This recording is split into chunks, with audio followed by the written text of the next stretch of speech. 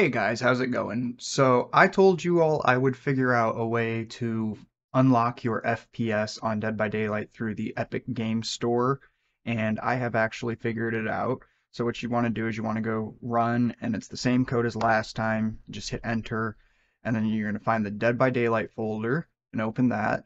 And then you're going to want to open the saved folder and then the config folder and this EGS folder right here, Epic Game Stores. So you just open that, and then you're going to find the game user settings.ini file and open that and scroll down until you see frame rate limit right there and it'll be 0.00000 by default you're going to want to head and replace the first zero with 120 and then just click save and just like in the last video for the Steam version, I recommend you set it to read only so it doesn't reset on you or anything on accident.